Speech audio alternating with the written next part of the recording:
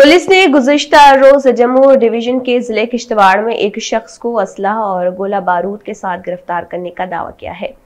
Police को दिए गए एक बयान में कहा गया है कि एक मशकूक शख्स के लम्हे से मुतल मालूम की बुनियाद पर किश्तवाड़ पुलिस, आर्मी 26 आरआर और सीआरपीएफ के बावन बटालियन एहलकारों ने मालिपथ में मुश्तरी सरप्राइज़ नाका कायम किया था।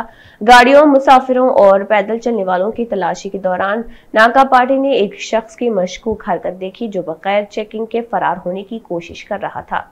उसके मुताबिक नाका पार्टी के चौकस से जवानों ने उस पर काबू पा लिया, जबकि उसने फरार होने की पूरी कोशिश की और उनके अहलकारों की तलाशी पर उसके कब्जे से एक देसी साख्ता पिस्तौल बरामद हुआ।